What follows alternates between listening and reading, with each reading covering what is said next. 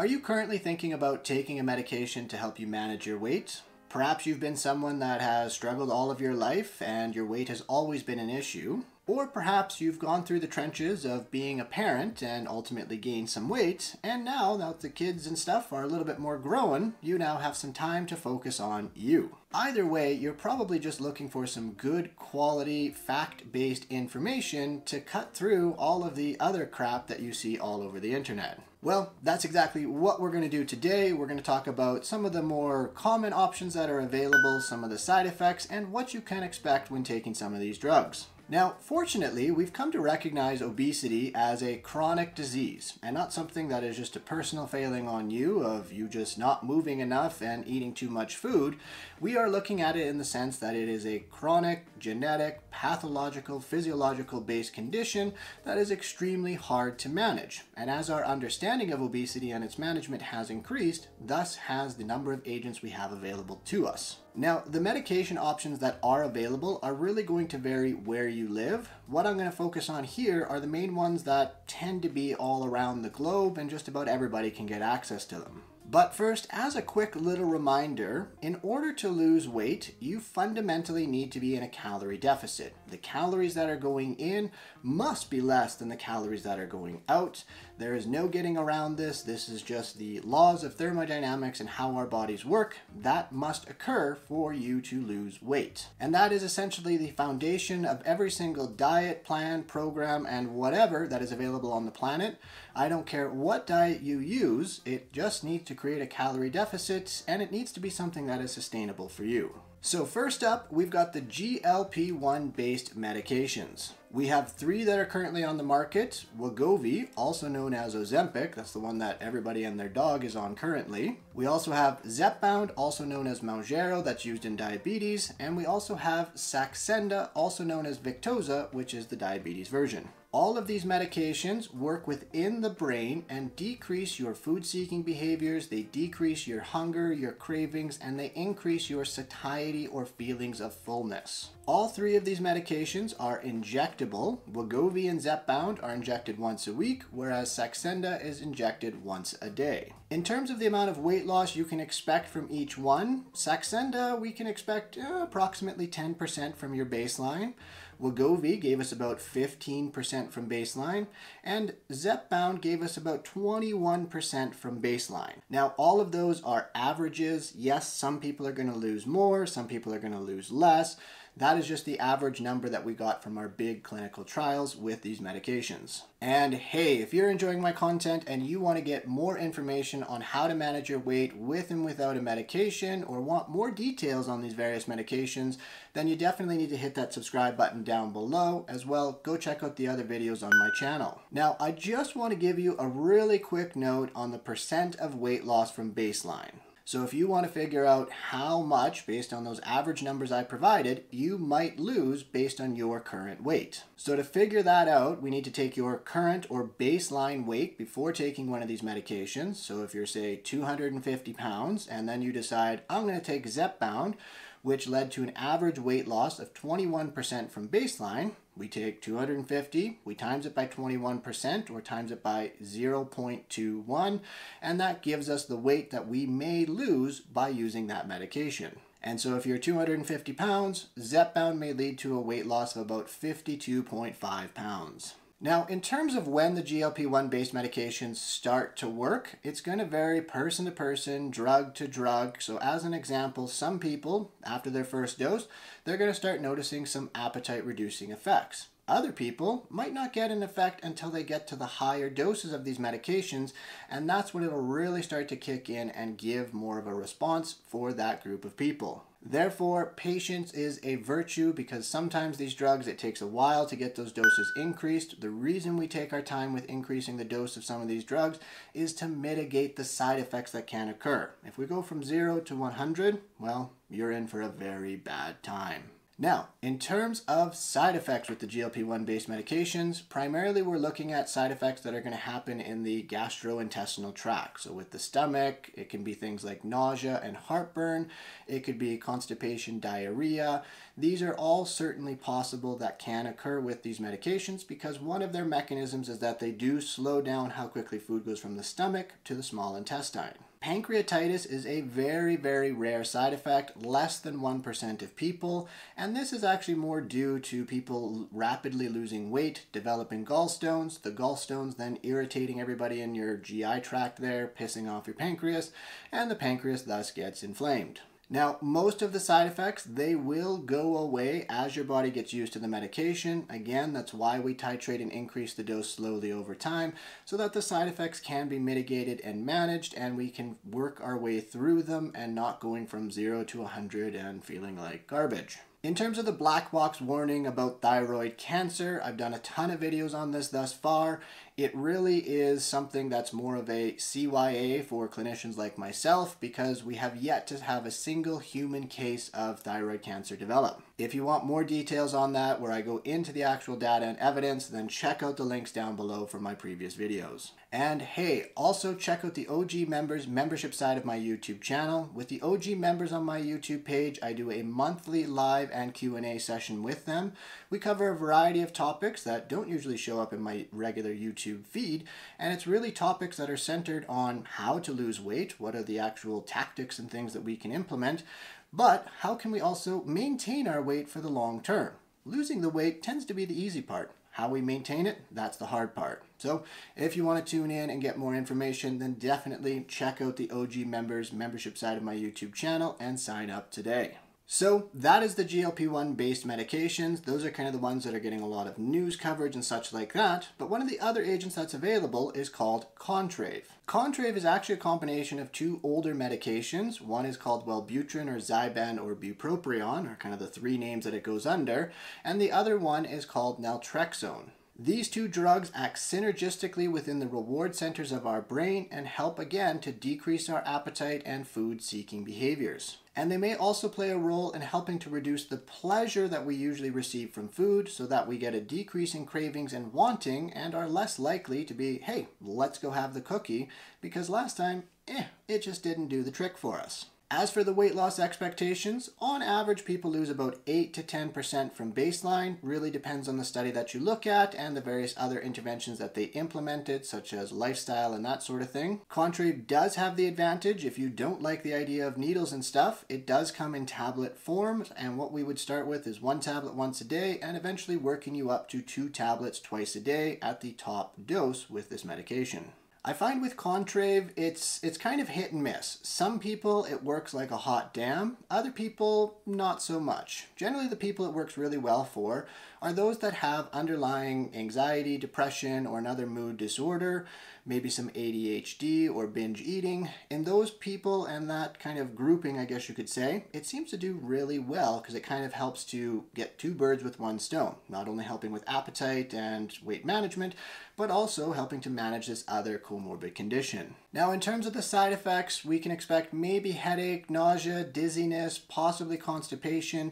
Again, these are all pretty short-lived side effects for most people. They go away shortly after you start the medication. There can be an increase in anxiety and jitteriness for some people when they first start out. Bupropion, Wellbutrin, and that such is an antidepressant based medication. It does have a bit of a stimulating type effect, and so it can lead to a bit of anxiousness and jitteriness when first starting out, but it all will calm down the longer you're on it. Other rare side effects can be things like dry mouth, insomnia, increases in blood pressure, definitely more rare, but something we need to monitor for and might make it so that it's intolerable for some people. Now, Contrave is contraindicated or shouldn't be used in individuals that have a history of seizures, are currently using opioid-based medications, so that's like morphine, codeine, that sort of thing, and it shouldn't be used in people who have uncontrolled blood pressure. So if you have hypertension or high blood pressure, your blood pressure is elevated and not currently controlled, well, pretty good chance that that Contrave is going to push it up even further or make it more challenging to manage. So better to get that blood pressure managed and then look at this medication potentially. And by the way, if you're looking for a tool that can help you along your weight management journey, then you should definitely check out the link down below and download my seven day best weight food journal. With this journal, it's not just about tracking what you're eating on a day to day basis, it's about tracking your emotions before and after a meal. This is so vitally important because this helps us to capture the bigger picture of why you might be eating or engaging with X food. When we have a better understanding and picture there, we can start to identify some high risk times and changes that we want to make. We can also start to figure out what are some of our underlying patterns and behaviors and make a shift and change versus just allowing our brain and body to kind of do whatever it wants. So it helps us to get a much better picture, really create some good solid foundational habits and behavior changes, and ultimately gets to more of the root of what we're trying to deal with when it comes to our weight. So check out the link down below. Next up, we've got Xenical or Orlistat. So the way that this medication works is it actually blocks the enzyme that breaks down fat in our GI tract. For fat to be absorbed and utilized by our body as calories, that fat needs to be broken down into smaller pieces. If it's not getting broken down into smaller pieces, it's not getting absorbed, so you're getting in less calories, and thus what's going to happen is that fat is just going to go out with your bowel movement, and voila, you're going to absorb less calories, potentially get into a calorie deficit, and lose weight. Now, this drug does come in an oral formulation, so it's a capsule that you'll take up to three times a day with your meals. Obviously, it needs to be taken with the food because it needs to prevent the fat from your food from being absorbed. And for most people, they need to be taking in a moderate amount of fat. So it can't be a low fat diet or the drug's just not going to be all that effective. Moderate fat seems to be a good amount,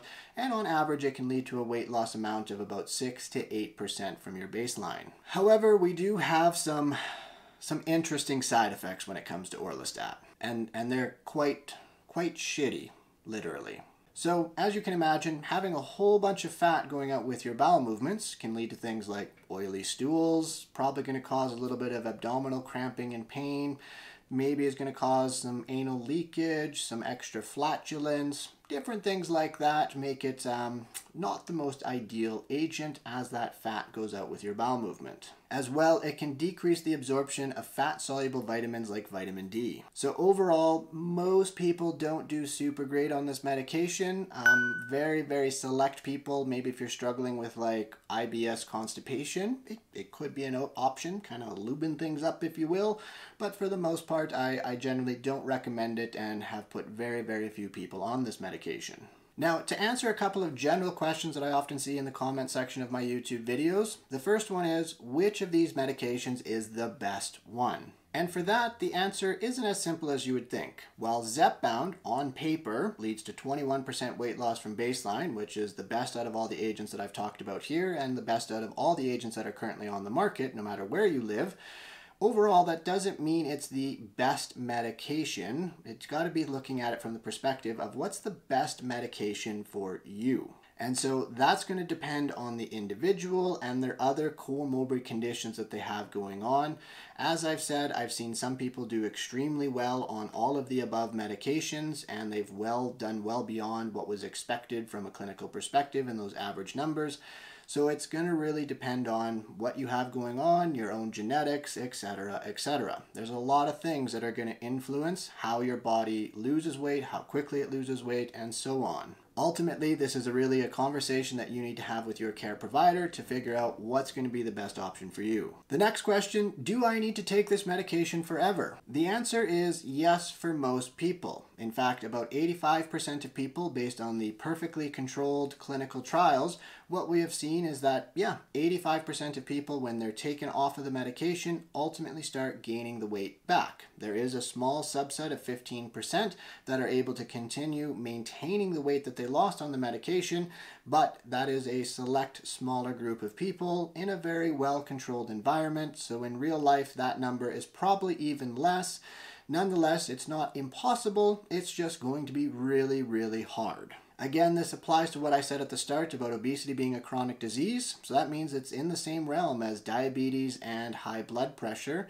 That if we have a treatment that's managing that condition and we remove that treatment, well, the condition is just going to come on back. As for a few other pro tips, I want you to keep in mind and remember that this isn't supposed to be something that we're rushing to get as much weight off as quickly as possible. It has taken you a long time to get where you're at to this current place, and it's going to take you a long time to lose the weight and be able to maintain that weight long term. These medications, they are just a tool that are going to make it a little bit easier to maintain that calorie deficit more consistently. As well, please don't compare yourself to anybody online. I don't care what Rachel on Facebook did and how much she lost. I mean, are you Rachel? Do you have Rachel's genetics and Rachel's lifestyle? Sorry to all the Rachels out there. I'm not actually intentionally picking on you. I'm just just saying, just a name. Make sure that you are doing this for you and focusing on your journey and your journey alone. Everybody else's journey is going to be completely different because every single one of us is a little bit different. My next pro tip is to make sure you check your expectations before you wreck yourself. So a reasonable amount of weight loss that you should be expecting to lose with or without the medication on your journey is anywhere from half to two pounds per week. Some weeks might be more, some weeks might be none. The goal is just to keep chugging away, and if you're getting and falling within that trend of losing that amount week to week, then you're on the right track. You're doing extremely well, and the goal is just to keep on going. If you're expecting to lose more than that, if you're expecting to lose 10 pounds a month or what have you, well, I can guarantee you're gonna eventually set yourself up for failure. All right, that is it, and that is all you beautiful people. I hope that gives you a nice, straightforward breakdown of some of the medications that are currently on the market. Yes, it was a very high level overview. If you want more information on each of these medications, then you should definitely go and check out my YouTube channel. As I said, hit that subscribe button down below go check out the channel where I have a lot more detail where I go into some of the science and background when it comes to the medications. As well, if you're looking for some further support on your weight management journey, you can book a consultation with myself at the link down below, or you can shoot me an email and we can discuss longer term coaching options. I have a couple of spots available on my roster that are open for a brief period of time. So if you want some support, shoot me an email or sign up for a one-on-one -on -one quick session today and we can review your goals goals and what you need to do to get moving in the direction that you want. Otherwise, I hope you enjoyed this video and be sure to share it with anybody else that you think might get some benefit from it. And as well, don't forget to check me out on my other channels. I'm on the Tick, the Talk, the Gram, at the official Dr. Dan. As well, check out the OG members membership side of my YouTube channel where I do a monthly live on a variety of different topics and we do a live Q&A. So if you have any further questions and you want to chat with me and get a response in real time, that is where you want to bring your questions. And as I always sign off, please remember that it's going to be those small tweaks that lead to the massive peaks.